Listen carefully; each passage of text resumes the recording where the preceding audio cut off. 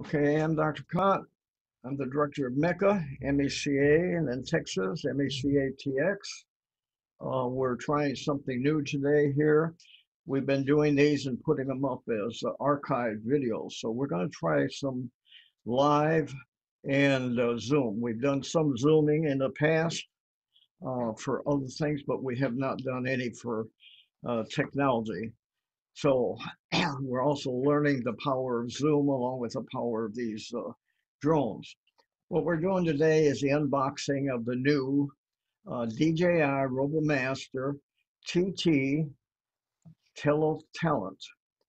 This is a whole new world.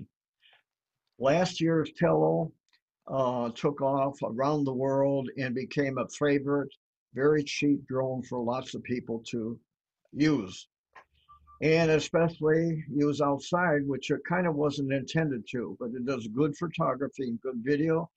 Doesn't handle the very, wind very well, but it does good flying outdoors. So anyway, DJI, if you remember that uh, was put together by basically three companies. DJI was the primary provider of the power of the uh, uh, drone industry. And then this other company, RYZE, is a company that sold the drone.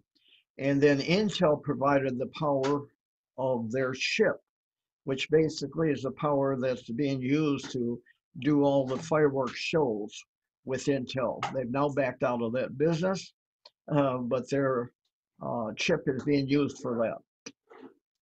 So what DJI has done is kind of backed out of that world. So it'd be interesting to see what happens in the Tello world as we know it. Um, they're going after educational world. So that's a totally different market than the consumer market around the world. The educational world usually means they're going to try to sell maybe four, six, eight, 10, 12 drones at a time, not one to individual consumers.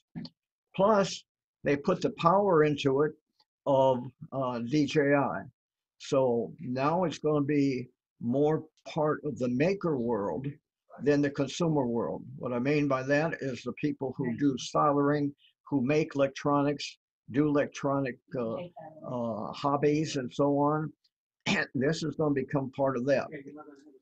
This new drone is compatible with the uh, Arduino, Raspberry Pi, um, and several other uh, type of devices depending on how you can program it.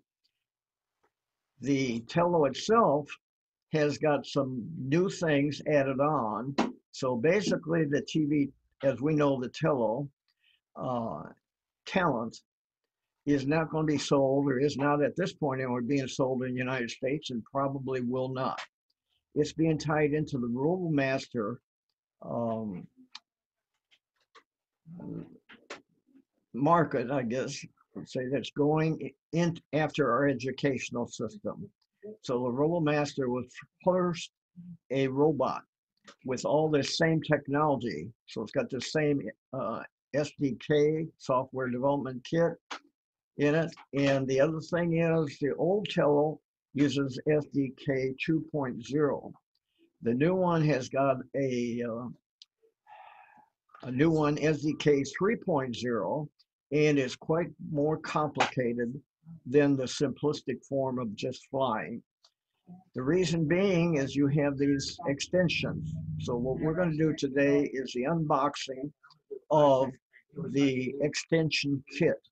This is the kit that you buy that will turn your Tello EDU, only the EDU, okay, not the Ironman and not the standard, only the EDU into a Tello talent, okay, with the power of that. But you'll have to learn a lot of new uh, programming techniques and how to connect the things.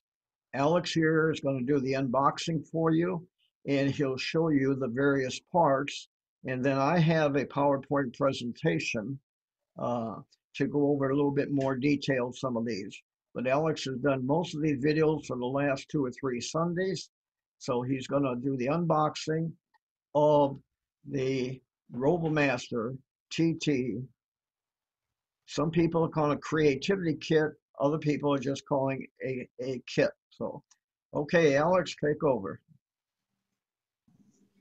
Okay, so here.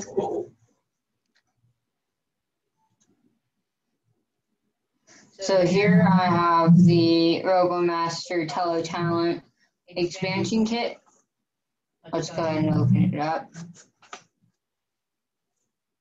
So first up, let's see.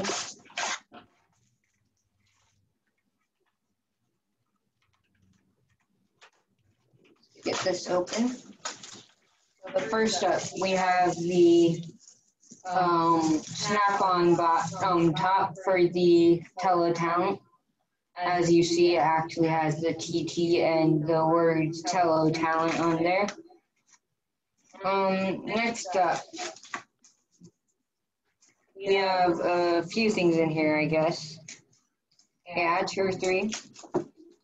So first we have this, which I'll show more in depth after I finish going over everything else. And then we have the lights, which come off of here, and you'll put this on.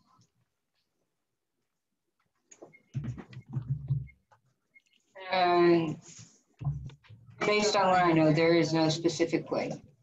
This there is. Of course, as you see, like so.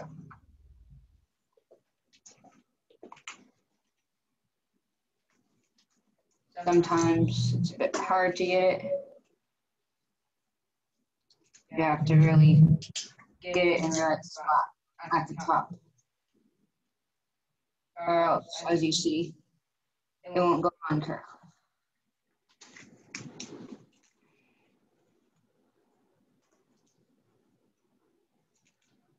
Okay. So oh, there you go.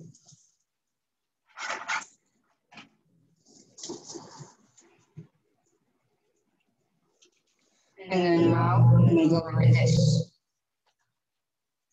And of course, we have the manual. If you tap it, or just go like that, you will see you of course have the charging cable. Now, so here on this, we have what looks to be seven by seven, seven by two pins, which will plug in to here. And then if you flip this over, you have a spot for other pins to hook up to an Arduino. So first up, I'm going to go over the basics, which are the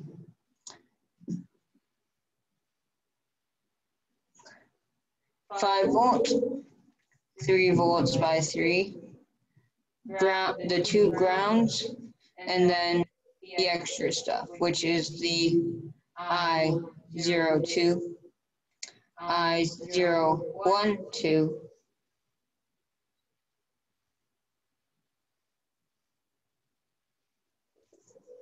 I05, and then this one right here is covered up by that. What looks to be like solder. Then we have I04, I015, I027, I014, I013, I026, and then back to this. And then these are like this but they are on a bigger scale. And this is what you would get to hook up the Arduino. And what you do is you would stick the shorter end right there and lift it up like so, and then break